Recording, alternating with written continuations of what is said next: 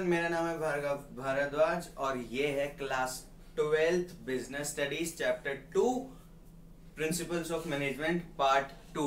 Part one, जहाँ पे Fayol के 14 प्रिंसिपल्स हम ऑलरेडी डिस्कस कर चुके हैं, वो वीडियो ऑलरेडी अपलोडेड है।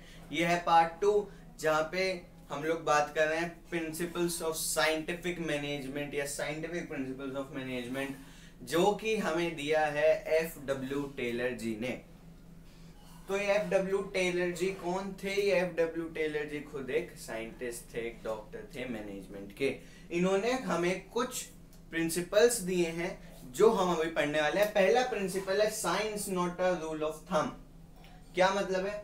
ये कहता है कि there is only one best way to maximise efficiency efficiency means काम करने की क्षमता। एफिशिएंसी मींस कितने बेस्ट तरीके से आप काम कर सकते हो, वो करने का सिर्फ़ एक ही तरीका है। There is only one best way to do the work perfectly और वो तरीका कैसे पता चलेगा? That way is developed through scientific study and analysing each element of job मतलब जो आपकी जॉब है ना, जो आपको काम परफॉर्म करना है, उसके हर एलिमेंट को आपको अच्छे से एनालाइज करना है। और साइंटिफिक स्टडी साइंटिफिक तरीके से आपको प्रॉपर तरीके से उसको पढ़ना है, उसको एनालाइज करना है, उसको समझना है, उसके बाद ही वो एक बेस्ट तरीका आपको मिल पाएगा। और ये जो तरीका आपने निकाला है must substitute hit and try method तो हिट एंड ट्राई जो इसने बोला है, इसने रेफर किया है रूल ऑफ़ थम को। तो रूल ऑफ़ थम जो हेडिंग है ना हेडिंग प्रिंसिपल की, यहाँ पे रूल ऑफ़ थम का मतलब है हिट एंड ट्राई मेथड तो आपको जब आप प्रैक्टिस कर रहे हो, जब आप मैनेजमेंट कर रहे हो तो you will not hit and try method you will not follow hit and try method because that causes the wastage of money, time, energy and every so what you have to do is you have to find that one best method that will be developed through scientific study and analyzing each element of the job second हमारा आता है that is harmony not discorded harmony not discorded के अंदर आ रहा है harmony between this principle talks about harmony between management and workers so there should be a proper cooperation harmony between the both management and workers employer and the employees the taylor talks about a complete mental revolution a complete mental revolution from competition to cooperation the taylor wants to say that manager management है ना और work workers है employer है और employ है दोनों के बीच में कंपटीशन वाला जज्बा नहीं होना चाहिए कोऑपरेशन वाला जज्बा होना चाहिए दोनों ये ना सोचे कि मैं उसको कैसे हराऊं या मैं उससे कैसे जीतूं? दोनों ये सोचे कि मैं उसको साथ लेकर कैसे जीतूं? कई वीडियोस आती हैं, कई सारी सोशल साइट्स पे जहाँ पे रेस चल रही होती है।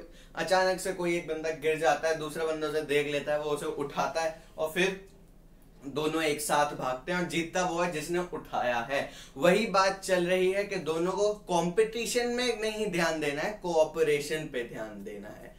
ठीक है? मेंटल रेवोल्यूशन मतलब पूरा दिमाग का उठा पटक, पूरा रेवोल्यूशन पूरा change in mind set is what the Taylor talks about तीसरा पॉइंट कहता है management must share the gain with the worker जो भी गेन हुआ है ना कंपनी को, जो भी गेन हुआ है एम्प्लॉयर को, वो शेयर करे अपने एम्प्लॉय के साथ, वो शेयर करे अपने वर्कर के साथ, ताकि वो भी इनकरेज हो वर्कर भी इनकरेज हो. And they must be grow growth of both the two, but together they must be growth, but together, both must grow together.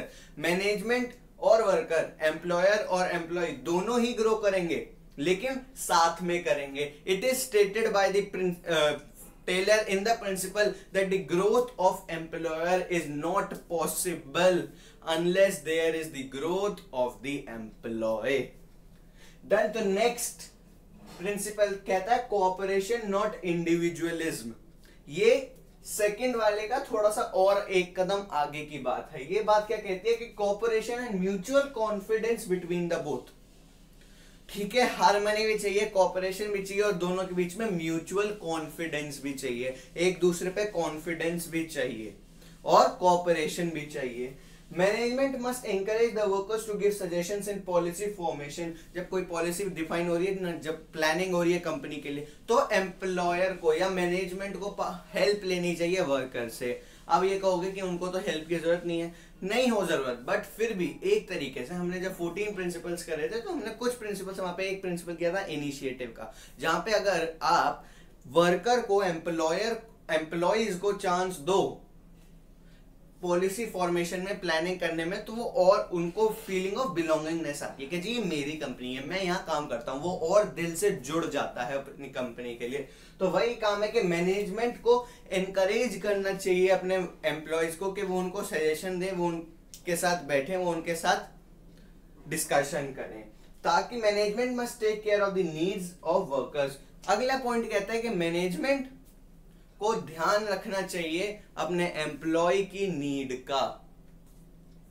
जिस तरीके को मैनेजमेंट हर वो काम करेगा जो ज़रूरी है एम्प्लॉय के लिए। क्योंकि मैंने बताया अभी अगर एम्प्लॉय ग्रो नहीं करेगा तो एम्प्लॉयर भी ग्रो नहीं करेगा। इस स्टाइल को हम कहते हैं पैटर्नलिस्टिक स्टाइल ऑफ़ मैनेजमेंट जहाँ पे एम्प्लॉयर ध्यान रखता है अपने एम्प्लॉय का। ठीक है? तीन प्रिंसिपल्स ये हैं। इनको नोट्स बना रहे होंगे ऑफ़ कोर्स मैं हर वीडियो में नोट्स देता हूँ, फटाफट उनके नोट्स बनाओ। नेक्स्ट वीडियो पे मूव ऑन करते हैं।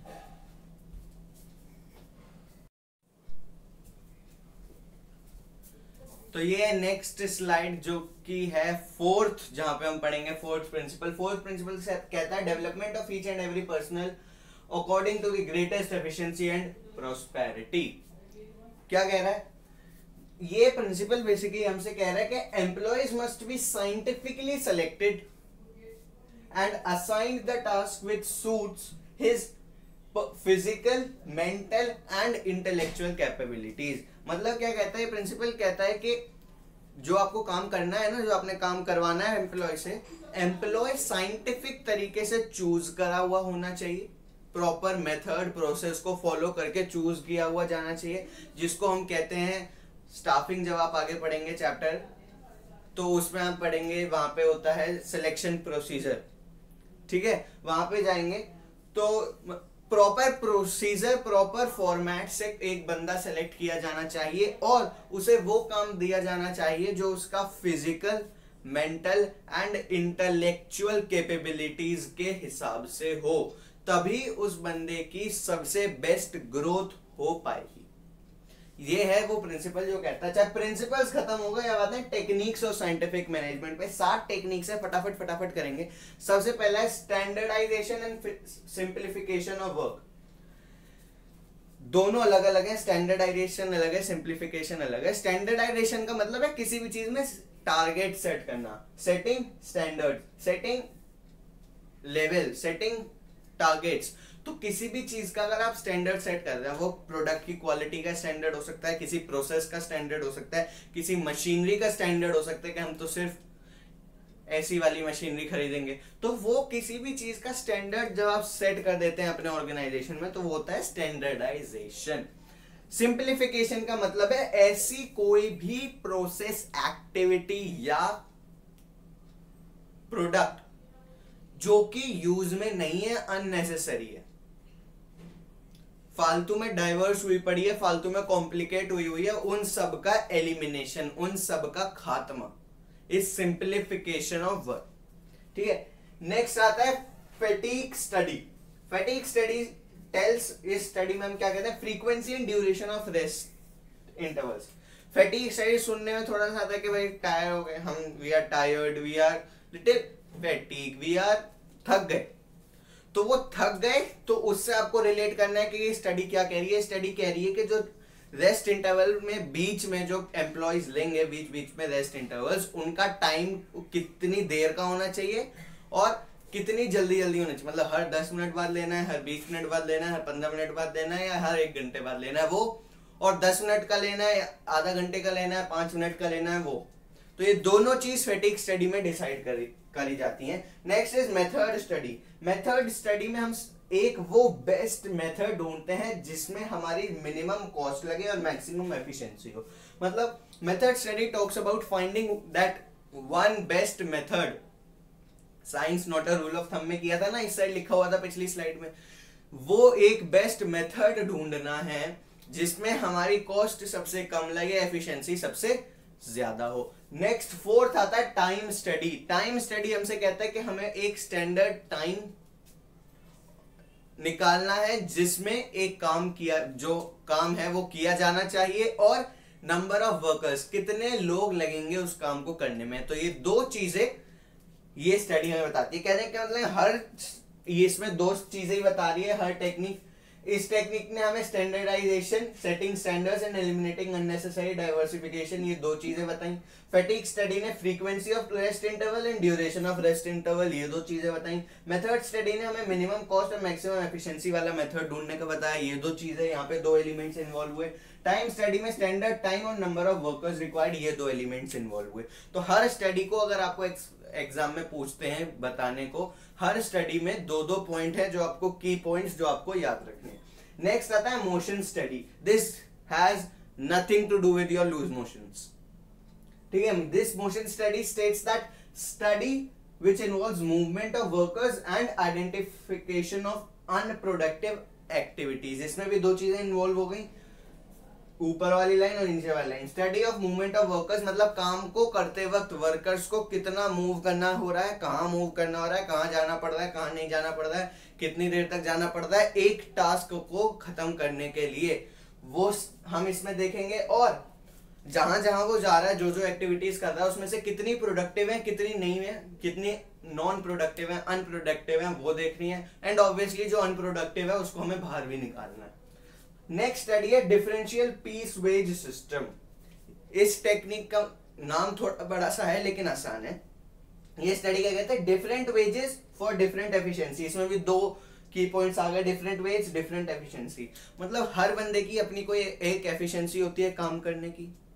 ट्रू उसकी कोई एक क्षमता होती है, कोई कैपेबिलिटी होती है काम करने की। अब वो जो उसकी कैपेसिटी है, वो जो उसकी एफिशिएंसी है, हर बंदे की अलग अलग है, इसलिए हर बंदे को अलग अलग मतलब प्राइस मिलेगा वेजेस मिलेंगे। कैसे अगर कोई बंदा एक दिन में पाँच यूनिट प्रोड्यूस कर पा रहा है तो उसे उस पाँच उस पाँच यूनिट के हिसाब से वेज मिलना चाहिए। अगर कोई 20 यूनिट प्रोड्यूस कर पा रहा है तो उसे उस 20 यूनिट के हिसाब से ज़्यादा वेज मिलना चाहिए। ये नहीं कि आप पाँच प्रोड्यूस करो या 20 प्रोड्यूस करो सैलरी इक्वल होगी। नो पाँच प्रोड्यूस कर रहे हो तो उस हिसाब से सैलरी दस प्रोड्यूस कर रहे हो, बीस प्रोड्यूस कर रहे हो तो उस हिसाब से सैलरी तो ये वो चीज़ है। नेक्स्ट है फंक्शनल फोरमैनशिप ये थोड़ा सा बड़ा, थोड़ा कॉम्प्लिकेटेड थोड़ा कॉन्ट्रोवर्शियल है। कैसे?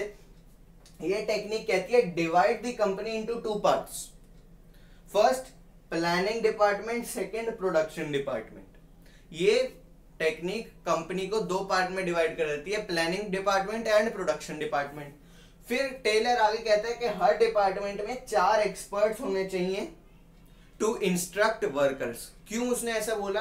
क्योंकि उसका यह मानना है कि कोई भी एक आदमी हर चीज़ में एक्सपर्ट नहीं हो सकता। इसलिए दोनों डिपार्टमेंट में एटलीस्ट चार चार एक्सपर्ट्स होने चाहिए डिफरेंट डिफरेंट वर्क के।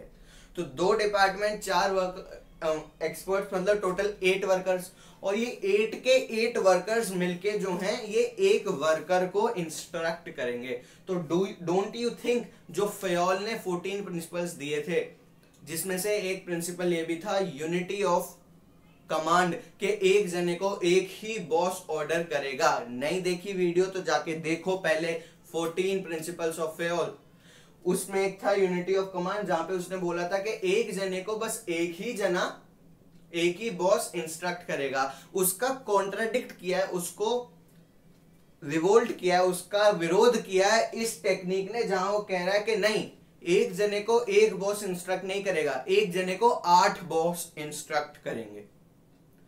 तो यहाँ पे क्वेश्चन कभी कभी आ जाता है, कुछ तो प्रिंसिपल्स और टेक्निक्स हैं टेलर और फ्योल की, जो मैच हो रही हैं, और कुछ हैं जो कॉन्ट्राडिक्ट हो रही हैं। जैसे ये वाला कॉन्ट्राडिक्ट हो रहा है विद यूनिटी ऑफ़ कमांड वहीं पे अगर मैं देखूँ जो बात हो रही थी हमारी इस, इसकी पीछे भी हमने बात करी थी कि बंदा जो है वो ये ये वाला सॉरी ये वाला development of each and every personal के बंदा जो है सेलेक्टेड मेथड से यूज़ होना चाहिए उसे काम अच्छे से देना चाहिए। तो यहाँ पे बात हो जाती है थोड़ा सा रिलेट कर जाता है डिवीज़न ऑफ़ वर्क से क्योंकि डिवीज़न ऑफ़ वर्क जब एक्सप्लेन करने पे आते हैं तो कुछ कुछ बुक्स में ये भी लाइन भी लिखी हुई है कि डिवीज़न ऑफ़ वर्क सिर्फ़ ये नहीं है कि आपको वर्क में वर्क को छोटी छोटी यूनिट्स में बांटना है, वो ये भी है कि उसे एक अच्छे एम्प्लॉयज़ को उस, जो एम्प्लॉय उसमें एक्सपर्ट हो, उसमें भी उसको भी ये वह काम सौंपना है सौंपना है। तो थोड़ा सा ये वहाँ से कनेक्ट हो जाता है, और भी दो तीन है। अगर आप पीछे जाओ तो हार्मनी नॉट डिस्कॉर्डेड और कॉपरेशन नॉट इंडिविजुअलिज्म में जो बात हो रही थी कि इनिशिएट करने में इनकरेज करना है सजेशन देने में, वो वहाँ पे प्रिंसिपल था फोर्टीन प्रिंसिपल्स ऑफ़ फेयर्स में था प्रिंसिपल ऑफ़ इनिशिएटिव जहाँ पे workers were encourage to give the suggestions तो कुछ चीज़ें तो दोनों की मैच हो रही हैं, कुछ रिवोल्ट हो रही हैं। तो यहाँ पे डिफ्रेंसिएशन आ जाता है। Differentiate between Henri Fayol and F W Taylor मैं नहीं करवा रहा हूँ, क्योंकि पेपर में तो वो आता नहीं है। लेकिन फिर भी अगर आपको देखना है तो मैं क्या करूँगा? मेरे, आपको पता है ना, मैं नीचे व्हाट्सएप नंबर दे दूँगा। उसमें आप मेरे से कनेक्ट हो, वहाँ पे मैं आपको दे दूँगा। वहाँ पे बेसिकली मतलब ये हेनरी फ्योल एक प्रैक्टिशनर था टेलर एक प्रॉपर साइंटिफिक साइंटिस्ट था। दोनों की अप्रोचेज में क्या क्या थी क्या क्या उन्होंने चीज़ें कंट्रीब्यूट करी, उससे रिलेटेड कुछ है। तो ये चैप्टर ये पार्ट टू तो यही खत्म होता है। तो जो लोग मेरे को पहली बार देख रहे हैं, वो तो सबसे पहले मैं रिक्वेस्ट करूँगा कि नीचे रेड कलर का बटन आ रहा होगा सब्सक्राइब का, उसको दबा दो। आगे बेल आइकन आएगा, उसको हिट कर दो। मतलब कहने का मतलब है कि हमारा चैनल सब्सक्राइब कर दो। और अगर वीडियो में कुछ समझ में आया हो तो लाइक करना है। नहीं समझ में आया तो पहले तो वीडियो को थोड़ा सा पीछे जाके सुनना है, जो पार्ट समझ में नहीं आया। मे बी हेडफोन लगा के। फिर भी नहीं समझ में आता तो नीचे कमेंट सेक्शन में तो बता ही दो। फिर तो मैं सॉल्व कर ही दूँगा। ठीक है? तो this all for today thank you and have a nice